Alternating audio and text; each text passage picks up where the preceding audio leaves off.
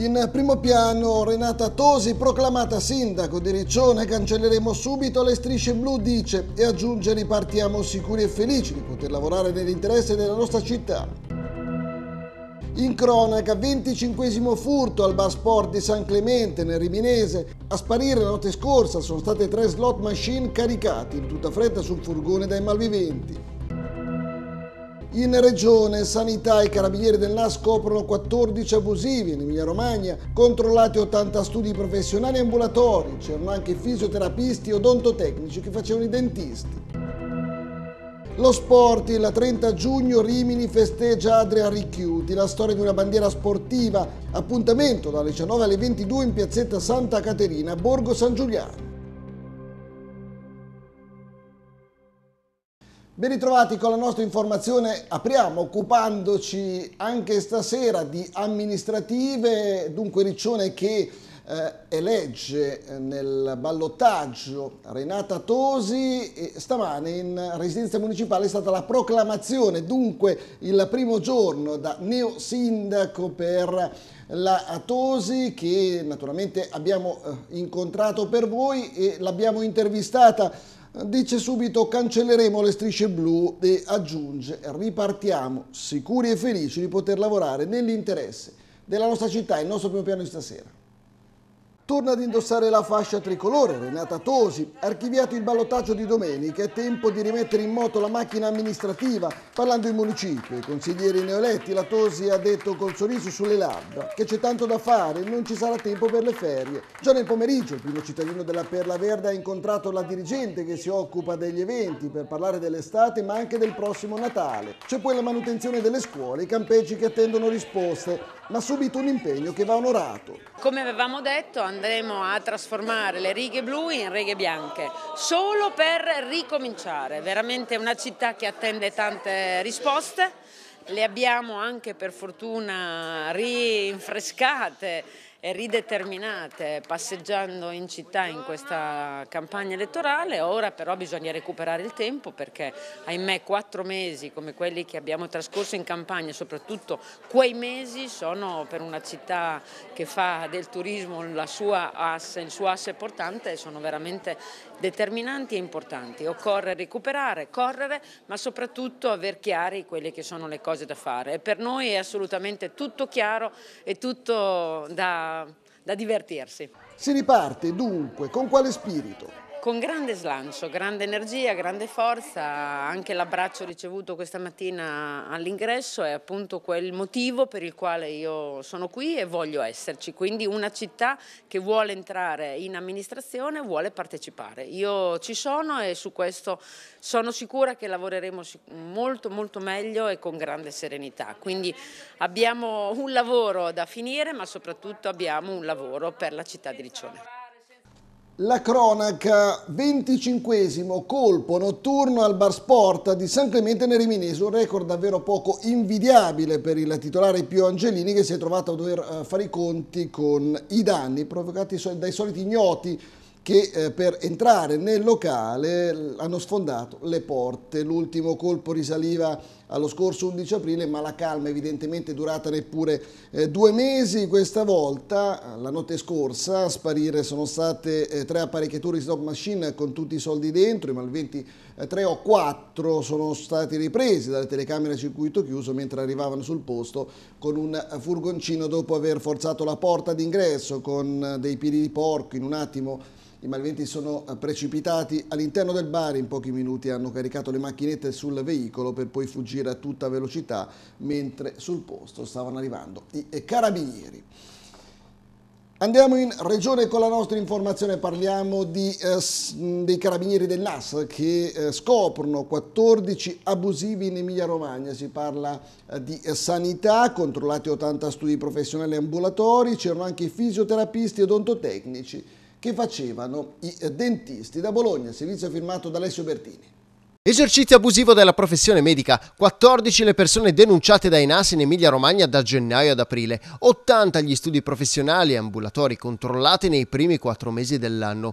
Tra i casi scoperti, un falso dietista che a Bologna milantava di avere una laurea e prescriveva diete integratori alimentari e una naturopata che a Ravenna diceva di avere riconoscimenti internazionali e rilasciava ricette per un rapido dimagrimento, ma anche un presunto veterinario che visitava i gatti a domicilio senza laurea e poi falsi fisioterapisti dentisti oppure odontotecnici sorpresi a fare i dentisti. Il falso veterinario, beccato sotto le due torri, è stato pure trovato in possesso di un importante quantitativo di farmaci in casa, subito sequestrato. I falsi fisioterapisti, due, sono stati invece individuati in due diverse strutture non autorizzate nelle province di Bologna e Forlì-Cesena, dopo verifiche sull'acquisto via web di coupon di prestazioni sanitarie a prezzi vantaggiosi. Del Ferrarese è stato trovato un odontoiatra che consentiva alla moglie, in realtà semplice assistente, di fare la pulizia pulizia dei denti ai clienti. Nella stessa provincia è stato scoperto pure uno studio abusivo gestito da odontotecnici che si comportavano come dentisti. Anche nel Ravennate, un affermato odontoiatra aveva istruito una dipendente con licenza media a pulire i denti dei pazienti. Situazione simile a Bologna dove sono stati pizzicati due odontotecnici che da anni prescrivevano farmaci ed esami utilizzando il timbro di un professionista risultato estraneo ai fatti. In un altro caso, una donna asiatica assunta per pulire locali e attrezzature si dedicava pure ai denti dei clienti. Un diciannovenne di Castelbolognese nel Ravennate è stato arrestato ieri sera dai carabinieri con l'accusa di aver accoltellato un diciassettenne compagno di scuola per questioni presumibilmente inerenti a una ragazzina contesa. Il ferito ha rimediato un taglio di eh, una decina di centimetri ad una guancia, sei punti a una spalla e un'ulteriore lesione ad un dito. Secondo quanto eh, ricostruito dai militari, tutto è accaduto verso il 17 di fronte alla piscina comunale dove il diciannovenne avrebbe dato appuntamento al diciassettenne in seguito all'ennesima telefonata che questo quest'ultimo aveva fatto una quindicenne sua ex fidanzata, era fidanzata del primo, secondo eh, poi quanto riferito ai carabinieri, il diciannovenne è andato all'appuntamento in bici portando con sé un cutter con l'intenzione a suo dire di spaventare il rivale ma non di ferirlo. La lite è però eh, presto degenerata anche per ragioni eh, pregre di pregresse scaramucce che si sono verificate a scuola e dunque si è arrivati al, all'arresto del diciannovenne. Sorpresi e amareggiati per le scelte legate alla spending review. Parliamo dell'arrivo dei rinforzi estivi di polizia a Rimini, arriveranno solo per un mese dal 20 luglio al 20 agosto, quando ormai le più grandi, le maggiori iniziative eh, come la Molo Street Parade sabato scorso, ma soprattutto la Notte Rosa, sono già andati in archivio a contestare eh, l'iniziativa e dunque a, a protestare il sindacato, il SIAP. Sentite. Siamo sorpresi e amareggiati che per scelte legate alla spending review l'arrivo dei rinforzi estivi siano previsti solo per un mese, ovvero dal 20 luglio al 20 agosto. Lo scrive il sindacato di polizia SIAP che in una nota rilancia sulle condizioni lavorative dei poliziotti riminesi. Non contestiamo, prosegue l'intervento del sindacato, il numero dei rinforzi, 80 unità, tra l'altro pressappoco identico a quelli previsti negli ultimi anni, ma il periodo esiguo Paradossalmente arriveranno dopo i grandi eventi che richiamano una straordinaria affluenza di pubblico come la Molo Street Parade il 24 giugno e la Notte Rosa il 7 luglio. Doveroso mettere in evidenza che se si è riusciti a garantire il buon esito della manifestazione della Molo Street Parade sotto l'aspetto dell'ordine pubblico, lo si deve al senso di responsabilità e di abnegazione dei poliziotti riminesi e di tutte le forze dell'ordine in servizio in questa provincia. Non possiamo più tollerare che il controllo del territorio nelle 24 ore sia demandato mandato a solo due equipaggi delle volanti composte da due operatori. Servono uomini, mezzi ed equipaggiamenti adeguati, ma il personale della Polizia di Stato è costretto, per senso del dovere, ad effettuare doppi turni di servizio, rimarca il SIA, per colmare la carenza di personale. Di contropartita non vengono pagate le ore in eccesso di straordinario, mediamente vi sono tagli del 60-70% e oltre la beffa, anche d'inganno, al personale in servizio non vengono neanche garantiti rimborsi per i pasti nei tempi dovuti. La questura di Rimini sta valutando l'espulsione di due senegalesi trentenni controllati nella serata di ieri al Parco Cervi, area Verdin, pieno centro, abituale ritrovo di sbandati e spacciatori. Uno dei due stranieri aveva un coltello, è stato denunciato per porto abusivo di armi, l'altro è stato denunciato per resistenza a pubblico ufficiale. Negli ultimi due mesi sono già 15 gli arresti compiuti dalla Polizia di Stato al Parco Cervi e per aumentare il grado di percezione di sicurezza da parte dei cittadini. Saranno intensificati i controlli per tutto il resto del periodo estivo. Torniamo in regione adesso perché parliamo di eh, edilizia, di costruzioni. Cala il volume d'affari nell'edilizia, insomma un, un, altro dato negativo che si aggiunge a tanti altri eh, percettori dei quali vi abbiamo dato conto anche nelle scorse settimane che evidentemente in questo senso non, eh, non vogliono abbandonare. Si parla ancora di crisi. Eh, da Bologna, Alessio Bertini.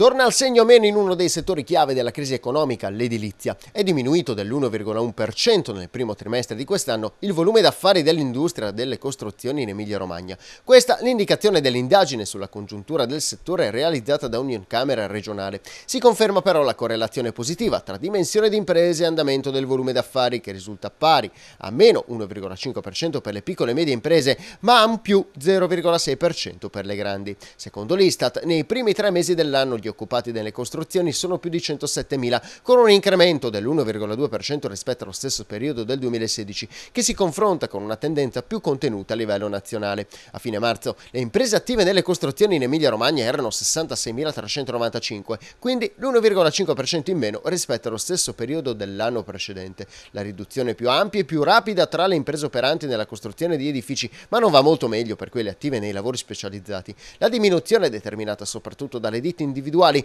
ma la tendenza negativa è più forte per le società di persone. A crescere sono solo le società di capitali.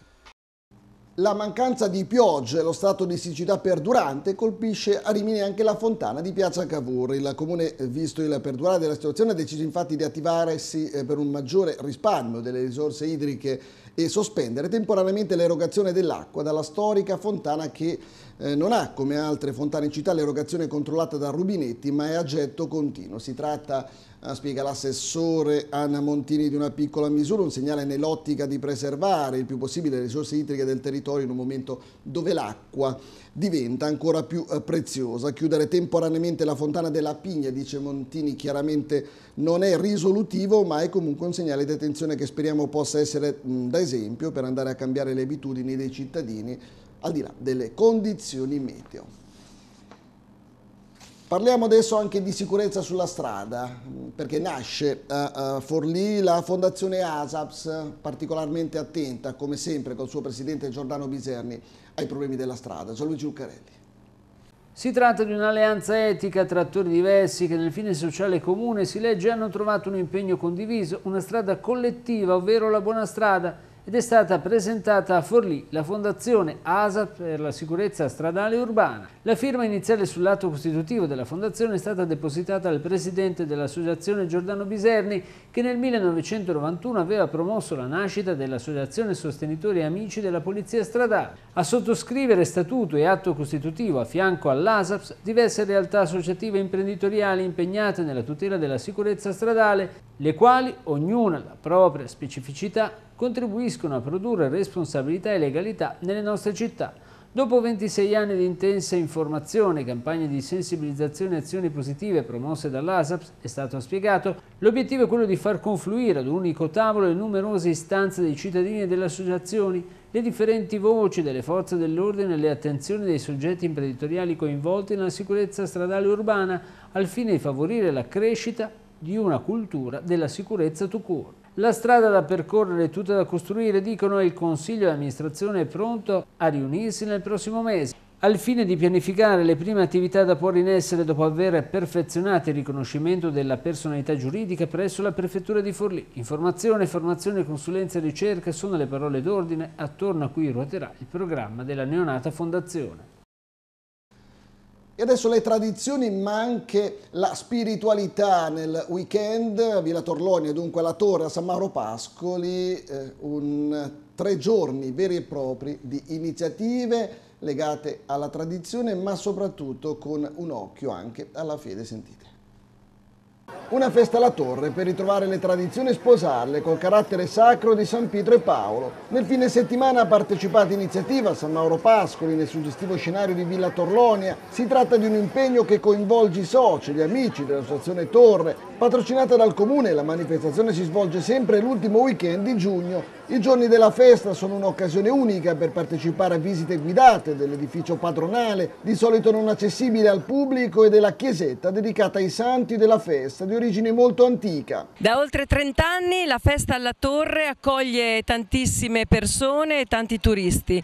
Villa Torlonia, Parco Poesia Pascoli, si presenta anche con questa bella sagra popolare, la festa di San Pietro e Paolo alla Torre, dove l'associazione Torre, un'associazione meravigliosa di tantissimi volontari, animano per tre giorni questa bellissima piazza di Villa Torlonia. Un respiro, un profondo respiro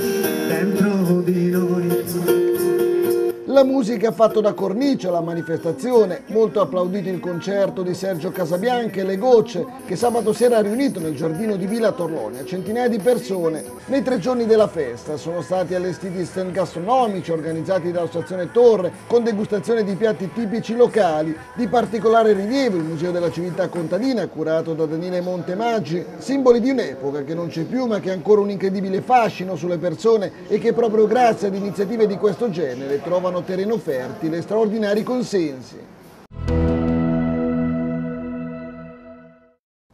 Lo sport adesso perché il 30 giugno Rimini festeggia Adrian Ricchiuti in occasione della pubblicazione del libro del collega Nicola Strazza K, Adrian Ricchiuti leggenda biancorossa, il gruppo di amici del Borgo San Giuliano, unito sotto il marchio Borgo Cultura, promuove una giornata di festeggiamenti per il campione biancorosso in occasione del suo compleanno. L'appuntamento in piazzetta Santa Caterina, proprio al Borgo San Giuliano, dalle 19 alle 22 in un calcio senza più frontiere con atleti che volano da un continente all'altro, indossare nuove maglie. Quella di Ricchiuti, secondo gli organizzatori, è la storia di una bandiera sportiva, la storia di un uomo che con la maglia a scacchi, quella del Rimini, ha scritto la storia e conquistato tutti i record possibili.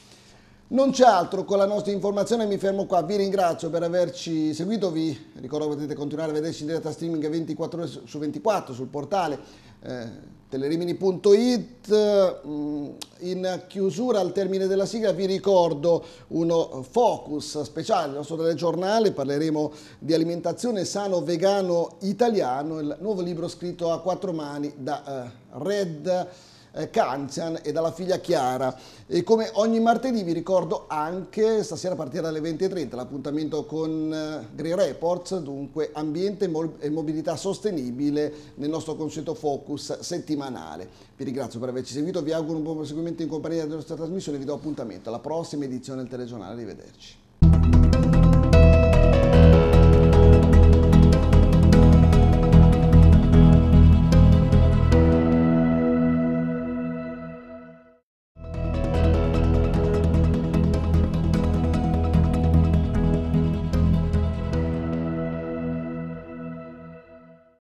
Sano Vegano Italiano, il libro del momento, il libro dell'estate che viene presentato questa sera qui al ristorante Radicchio Rosso a Ravenna. Chiara, allora quali sono le novità? Allora, è un libro che a me piace molto, è stato fatto a quattro mani con, con, mio papà.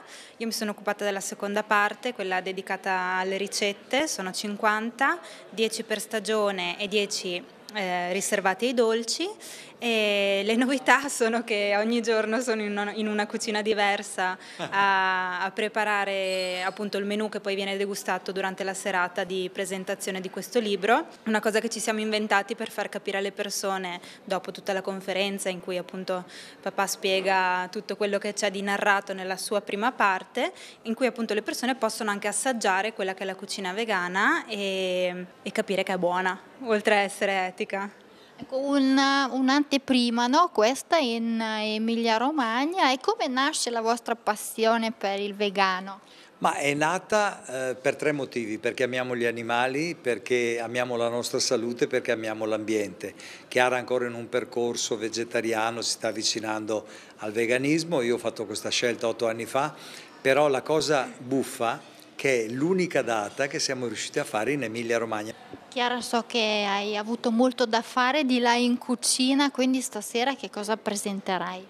Allora, questa sera ci sono cinque portate un benvenuto, un antipasto, un primo, un secondo e un dolce, quindi una cena bella corposa.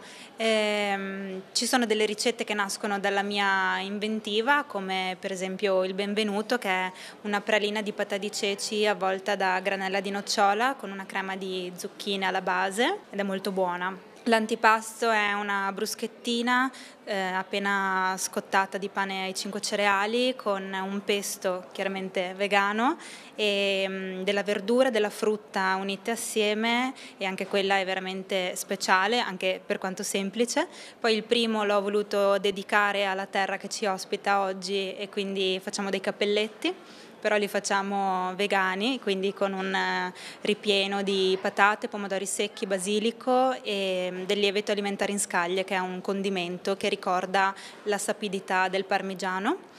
E, mm, il secondo è del muscolo di grano, che è un'alternativa vegetale alla carne a base di farina di grano antico e farina di lenticchie, quindi anche un ottimo apporto proteico e viene fatto come una, un medaglione alla mediterranea, quindi con un sugo di pomodori, capperi, olive servito con, la, con, della cipolla caramellata di contorno e poi il dolce è una rivisitazione del tiramisù. Alle fragole perché è stagione e quindi dà anche un tono di freschezza, chiaramente tutto vegano. Noi vogliamo ringraziare la struttura che ci ospita, questo ristorante grandissimo, bellissimo, il Radicchio Rosso soprattutto gestito da persone belle, vere, sincere, con i quali eh, abbiamo trovato subito il feeling giusto, Chiara ha trovato una cucina splendida, attrezzatissima, vero? Sì, infatti adesso ci torno molto volentieri a finire le, le ultime preparazioni per la serata, comunque sono in ottime mani. E dopo l'estate, col nuovo anno, magari arriverà anche qualcosa legato alla musica. Ciao! Una serata diversa dal solito, infatti è l'unica data che è stata fatta in Emilia Romagna, quindi abbiamo voluto dare un qualcosa di diverso al nostro, tutto al nostro pubblico, ai nostri clienti con questo evento in particolare. Un ristorante questo che è un punto di riferimento per questo territorio, famoso anche per l'ottima cucina naturalmente. Beh sì, diciamo che siamo, in pochi anni siamo diventati uno dei ristoranti a Ravenna abbastanza quotati con, facendo pesce, romagnolo e poi ogni tanto spaziamo facendo diverse cose, diversi eventi, appuntamenti come, come questo qui che è una cosa diciamo un po' fuori dal normale perché appunto sono dei personaggi che insomma non, non è che tutti i giorni si possono avere nel proprio locale, quindi una cosa che a noi ha fatto immensamente piacere e che speriamo di far divertire e accontentare tutto il nostro parco clienti.